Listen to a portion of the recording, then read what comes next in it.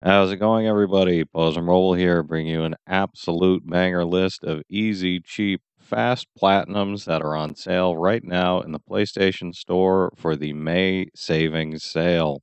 Assuming you have PlayStation Plus, get PlayStation Plus if you don't have it. It's worth it even for a month with this sale alone.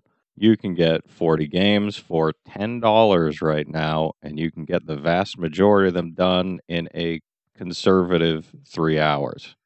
Xitilon, makers of the one button CRT looking games, have put almost their entire catalog on sale.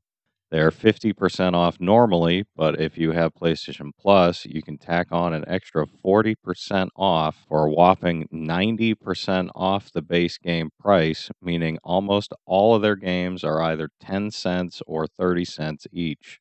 This is an absolute dream for trophy hunting. They're actual games, not just jumping games. I'm looking at youth eye games. Why aren't yours on sale right now? And most of them can be completed in under five minutes. I'm going to throw in a bonus game that's not actually by Xitilon, the Voices Stories by the Voices Games, which is also on sale for only 24 cents.